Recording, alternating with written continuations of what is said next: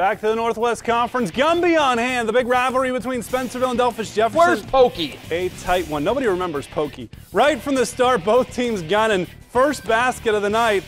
Ross Thompson to Trey Smith. A big night for Smith. Spencerville answers Ben Bowers. Dishes to Dakota Pritchard.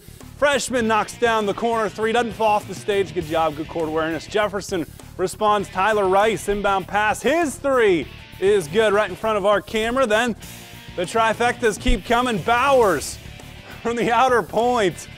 Spencerville, full court. Preston Jefferson says we can get through this. Ross Thompson, future Ohio Dominican football player, puts it off the window for two more. How about Trey Smith? 41 points tonight, as that's St. Mary's all of a sudden. Spencerville wins 79 70.